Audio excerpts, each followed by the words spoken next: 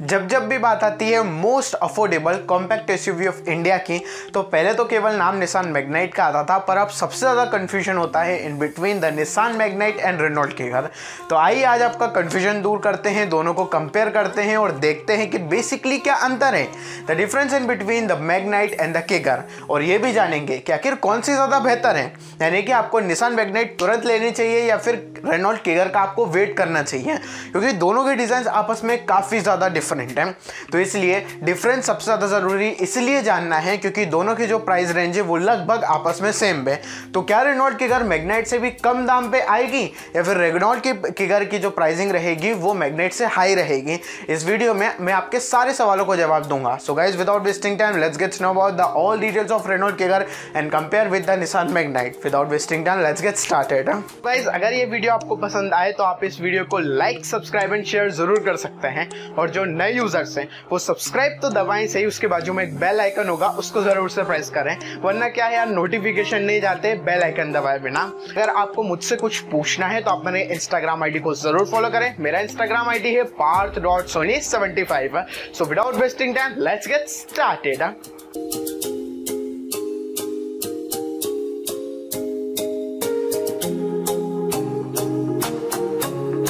so so guys अगर बात करें यहाँ पे एक्सटीरियर की या फिर डिज़ाइन की तो मैं इस पर ऑलरेडी वीडियो बना चुका हूँ। The comparison in between Renault Kiger and Nissan Magnite उसकी लिंक आपको आई बटन और डिस्क्रिप्शन दोनों में देखने को मिल जाएगी। फ़िलहाल अपन वो बात करते हैं जो मैंने उस वीडियो में नहीं बताया था। यानी कि प्लेटफॉर्म के बारे में engine safety features and lot of more हम अगर बात करें सेफ्टी फीचर की तो हाँ मैग्नाइट और किगर दोनों का जो प्लेटफॉर्म है वो आपस में सेम है।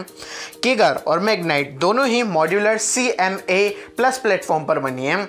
सो बेसिकली ये सेम प्लेटफॉर्म है या फिर एक अपग्रेडेड प्लेटफॉर्म है क्विड और रेडिगो के कंपैरिजन में। सो so, अगर मुझे लगता है सेफ्टी पॉइंट ऑफ़ व्यू के मैं दोनों को कंपेयर करूँ तो आपस में दोनों सेम ही होना चाहिए। अगर ये सपोज़ एन कैप में आए तो प्रॉबेबली मुझे ऐसा लगता है कि ये टू स्टार या फिर थ्री स्टार रेटिंग लाएगी। मोस्ट प्रोबेबली तो मुझे ऐसा लगता है कि two star max two max rating हमें मैग्नाइट या फिर किगर की देखने को मिलेगी। क्योंकि जो C M A plus platform है वो इतना ज़्यादा स्ट्रॉन्ग नहीं है जितना स्ट्रॉन्ग टाटा की कास्ट में रहता है। मैं किसी भी तरीके को डिसअपॉइंटिंग नहीं करने की कोशिश कर रहा हूँ निशान या फिर रेनोल्ड के बायर को पर अल्टीमेट सच्चाई तो यही है। सो so, ये तो बात हो गई प्लेटफॉर्म की। अगर बात करें डायमेंशन की तो क्या रेनोल्ड के घर की डायमेंशन ऊपर नीचे होगी मैग्नेट के कंपैरिजन में? सो so, जो डायमेंशन है निशान मैग्नेट की वही एज इट इज़ डायमेंशन आपको किगर में भी देखने को मिलने वाली है।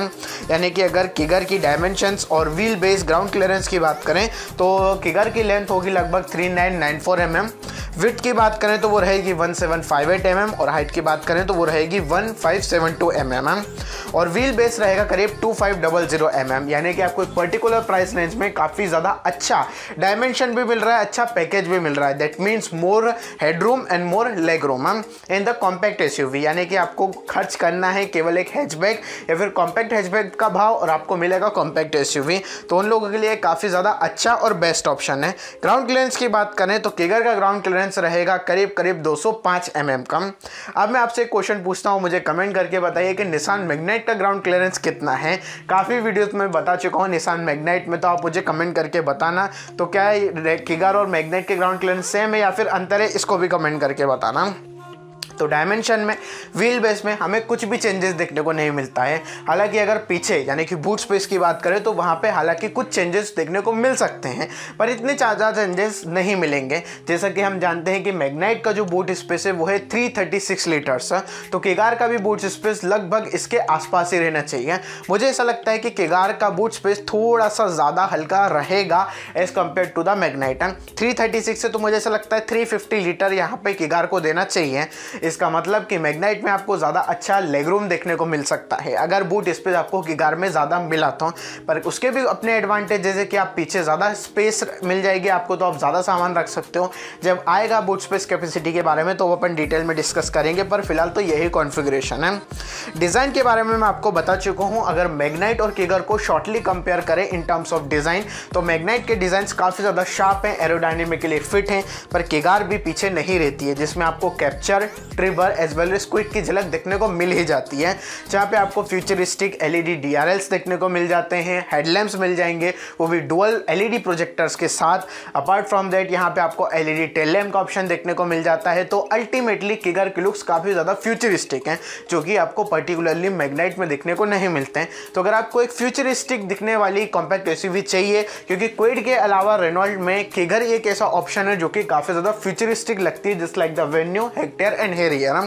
क्योंकि अलग से जितनी भी गाड़ियाँ हैं, एक तो कम गाड़ियाँ हैं जिस तरीके से ये प्लेटफॉर्म पर बनी हैं, वो जो भी जाती हैं तो इनका जो रोड प्रेजेंस रहती है, वो काफ़ी ज़्यादा बढ़िया भी रहती है।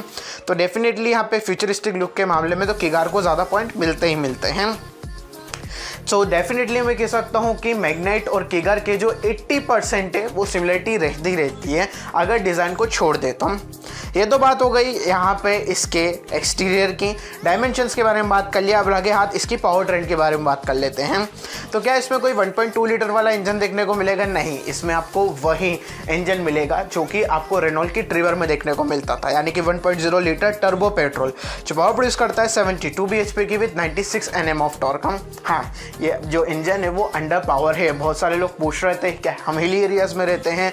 तो क्या 1.0 लीटर दम दे पाएगा पाँच लोगों को बिठा के? तो डेफिनेटली यहाँ पे दम तो निकल जाएगी अगर आप पाँच लोगों को बिठा के हिली एरियाज़ में 1.0 लीटर इंजन चलाएँगे, वो भी कॉम्पैक्ट एस के साथ हम बहुत से लोग कहते हैं कि पावर ट्रेंड में कुछ चेंजेस कर देंगे, काफ़ी कुछ मेजर चेंजेस देखने को मिल जाएँगे बट अपार्ट फ्रॉम देट इसकी बॉडी हैवी है। ये कॉम्पैक्ट एस है, क्योंकि ये 800 किलो की नहीं है, ये है 937 किलो की। तो दैट्स वाई यहाँ पे वज़न ज़्यादा होने से भी इंजन पे असर पड़ता ही पड़ता है, क्योंकि 1.0 लीटर थ्री सिलेंडर इंजन कितना दम देगा। जिनको पावर चाहिए, उनके लिए ये सबसे ज़्यादा बेस्ट इंजन है। 1.0 लीटर टर्बो पेट्रोल इंजन जो पावर प्रोड्यूस करता है 100 bhp की विद 160 nm ऑफ़ टॉर्क और अगर आप सी वाला वर्जन लेंगे तो वो 100 bhp की पावर पर 152 nm का टॉर्क प्रोड्यूस करेगा। अगर आप सी लेते हैं तो उसमें थोड़ा सा टॉर्क जो है कम हो जाता है। इसको ध्यान में रखते हुए ही आप सी वी CVT ऑटोमेटिक के हिसाब से एक अंजा अच्छा ऑप्शन है। अगर डीसीटी को भी मैं कंपेयर करूँ तो डेफिनेटली मैं कहूँगा जो इसका ऑटोमेटिक ट्रांसमिशन है, वो आई ट्वेंटी के कंपेरिजन में भी काफ़ी ज़्यादा बेहतर है।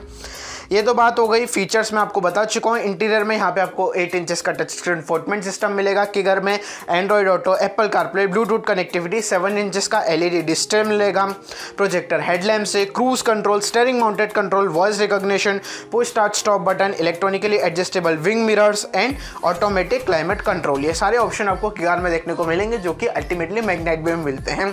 पर किगार एक कदम आगे बढ़ जाती है, क्योंकि उसमें आपको एलईडी हेडलैम्प्स मिल जाते हैं एलईडी टेल लैम्प्स मिल जाते हैं एलईडी टेल लैंप्स बेसिकली यहाँ पे किगार में मौजूद नहीं है।